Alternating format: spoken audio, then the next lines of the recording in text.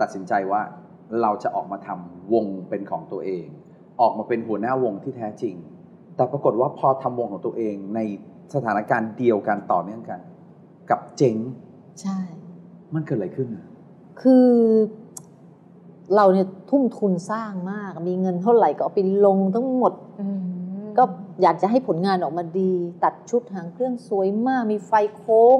เป็นไฟลำแสงโอ้ดวงหนึ่งหลายตังค์มาก เวลาส่องมาปุ๊บมันจะสวยมันจะส่งเป็นค่ะลำลำลำลำซึ่งวงลูกทุ่งจะไม่ค่อยลงทุนตรงนี้ไงคะแล้วเราก็แบบอยากจะทำให้เห็นตรงนั้น แล้วก็ให้คนที่เข้ามาดูแล้วก็โอ้โอ้อะไรอย่างเงี้ยแบบสวยค่ะเครื่องเสียงดีอะไรอย่างเงี้ยค่ะทีนี้ระบบการจัดการเนี่ยเราไม่ได้เรียนรู้เลย เราไม่รู้เลยว่าไอการที่จะไปแสดงเนี่ยไม่ใช่ว่าเอาของดีไปตั้งปุ๊บ แล้วจะมีคนเข้ามาดูไม่ได้มันต้องมีเรื่องของการโปรโมทประชาสัมพันธ์ทั้งหลายค่ะทั้งปวงจะต้องมีคอนเน็ชันกับนักจัดรายการในพื้นที่ค่ะเชิญชวนคนมาดู มันก็จะประสบความสำเร็จอย่างที่เราเคยเห็นสมัยที่เป็นเป็นลูกน้องเขาใช่ไหมคะแต่เราไม่มีตรงนั้น เราไม่มีการวางเอ่อการโฆษณาที่ถึงพอ ไม่ได้มีสิ่งเร้าใจที่ทำให้คนเขาอยากมาดูผลงานของเราค่ะเขาก็ไม่มา ก็มาน้อยมาก มาน้อยเก็บเงินก็ไม่ได้ส่วนใหญ่ก็อ้าวบางทีไป เอ้าวงสุรินทรามาเหรอคือเขาไม่รู้อืม คือพอถึงวันหนึ่งเงินเข้าไม่เท่าเงินออกแล้วมันก็เลยทำให้รู้สึกว่าเราไม่มีเงินที่มันเป็นต้นทุนมากพอ ใช่ค่ะตอนนั้นเนี่ยคือเมื่อก่อนนี้ถ้าถามพูดถึงเรื่องไทยจะร้องไห้มากเพราะอะไรเพราะเรารู้สึกว่า เอ้ยแหนว่าจะไม่ร้องแล้วนะ จริง ๆ มันนานมากแล้ว แต่ว่ามันนึกถึงวันนั้นว่าเราตั้งใจตั้งใจทำอะไรให้กับให้กับ ให้กับคนที่เรารักอะค่ะคนที่อยู่กับเราก็เหมือนกับครอบครัวเราทุกคนทุกคนที่เป็น ที่มาอยู่กับเราคือครอบครัวเราเราก็แบบทุ่มทุ่มหมดอะทุ่มหมดทุกอย่าง ได้โฆษณามาตอนนั้นมีถ่ายหนังมีอะไรทุกอย่างเงินทุกอย่างมาร้องเพลงห้องอาหาร ได้รายได้มาก็ไปไปได้จ่ายเงินมาจากส่วนอื่น ก็เอามาใส่มาเป็นตรงใช่นี้หมดแล้วก็มีความรู้สึกว่าเรานึกถึงแต่ลูกน้องอะเฮ้ยเดี๋ยวไม่มีข้าวกินนี่ไม่ได้วันนี้วงไม่ได้เล่นนะ ฝนตกอืมมันก็ต้องมีเงินอะเราก็ต้องไปค่ะจ่ายเบี้ยเลี้ยงเขาอะไรอย่างเงี้ยซึ่งเมื่อก่อนเนี้ยเรามีความรู้สึกว่า เราไม่เข้าใจในทุนว่าทำไมเขาต้องหักค่าตัว ถึงเวลาเราเราเลยจ่ายเต็มที่เลย ใช่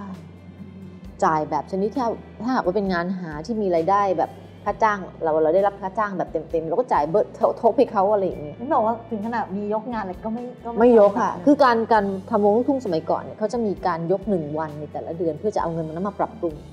ผลงานที่วงอะไรอย่างเงี้ยค่ะเราก็เลยบอกเฮ้ยถ้าเราทำเราจะไม่ทำเราจะไม่ทำแบบนี้นะ เราจะจ่ายเต็มเราจะจ่ายเต็ม สุดท้ายมันทำไม่ได้จริงๆมัของไม่ในได้บ้านจริงก็เลยต้องเอามาขายเพื่อที่จะหาโอ้ยรายได้ตรงนี้มาๆทุกอย่างที่ที่เราหาได้ในตอนที่เราดังอะค่ะมันมันไปเร็วมาก อะไรที่เข้าธนาคารได้ไปเข้ารีไฟแนนซ์ทั้งหลายทั้งปวงเงินที่มีอยู่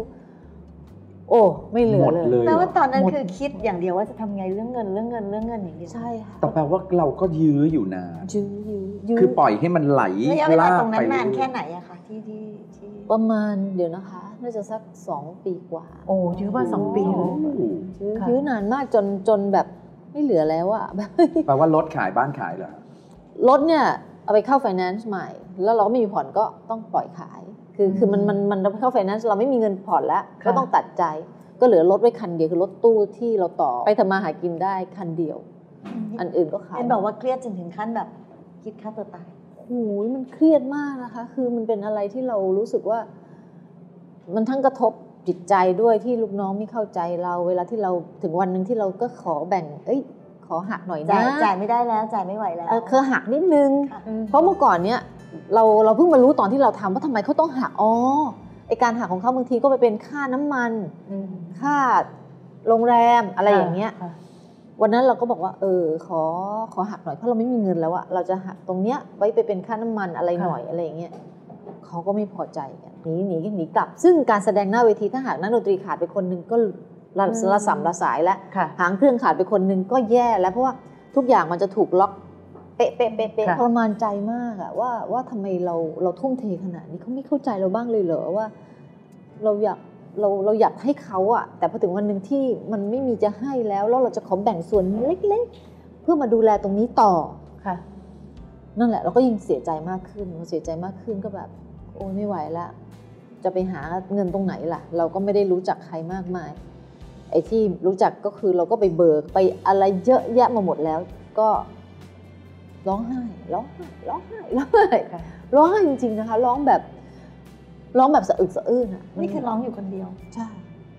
ซึ่งมันไม่ใช่แค่เราหมด แต่ว่าเราถึงขั้นเป็นหนี้เพราะตะเวนยืมเงินใช่คนเลยใช่เป็นหนี้เป็นหนี้กับช่างทำผมเนี่ยฮะพี่ทัศนีเนี่ย ยืมยืมเงินช่างทำผมเหรอใช่ เพื่อเอาไปจ่ายลูกน้องใช่ ยืมเงินคนที่อยู่ใกล้ตัวที่เขาพอมีเขาก็ให้ด้วยความด้วยน้ำใจเขาเนอะแต่ว่าสุดท้ายเราก็คือเคลียร์หมดนะคะ ตอนนั้นเห็นบอกว่าความเครียดถึงขั้นที่จะฆ่าตัวตายละไม่อยากอยู่จริงค่ะอะไรเป็นสิ่งที่ฉุดและทำให้เรารู้สึกว่าไม่อะมันก็อันต้งดับเนแรกต่เลยคือคือค่ะตกมองตรงนี้ก่อนอีตอนคิดจะฆ่าเนี่ยเราก็ฟังข่าวเยอะเนาะมันก็แบบ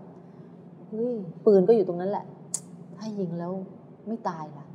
มพ่อแม่ต้องดูแลเรานะ นอนติดเตียงเราก็เห็นคนเยอะแยะที่เขายังไม่ถึงเวลาตาย แล้วก็ใช้วิธีการแบบผิดๆแล้วก็มานอนติดเตียงให้พ่อแม่ดูแลอะมันลำบากพ่อแม่อีกนะอะไรเงี้ยเฮ้ยไม่ยิงดีกว่า ไม่ยิงไม่ยิงค่ะผูกคอตายเหรอเฮ้ยแล้วถ้าผูกคอตายมันไม่ตาย ก็เห็นเยอะอะที่ไม่ตายแล้วก็เหมือนกันก็คือมาเป็นภาระคนที่อยู่ค่ะ คิดไปคิดมา ก็สวดมนต์ ก็ไหว้พระ แล้วขอเสด็จบารมีเสด็จพ่อปิยะตอนนั้นค่ะมาเป็นพลังให้กับทาด้วย ก็ พี่น้องที่อยู่ข้างๆ โดยเฉพาะพ่อแม่ที่อยู่กับทาตลอดอยู่แล้วใช่ไหมคะ เราเห็นตรงนั้นน่ะ เราก็รู้เลยว่า มันจะต้องอยู่ได้ แล้วเราก็ต้องรู้ว่าเราจะต้องตัดอะไร เพื่อให้เราอยู่ให้ได้ เตี้ยอุ้มค่อมอะคือเราก็ไม่รอดแล้วอะแล้วแล้วยังต้องไปแบกภาระก็คุยกับลูกน้องค่ะ สุดท้ายก็มาคุยกันว่า เออ เราถ้าเรารวมกันเราตายหมู่นะอืมเราแยกกันนะมันน่าจะไปกันได้นะก็ไปทำมาหากินกันก่อนแล้วกันวันนั้นก็เสียใจมากนะคะที่เราแบบเหมือนกับเราสร้างมาแล้วเราต้องมาทำลายด้วยตัวเอง Club Friday Show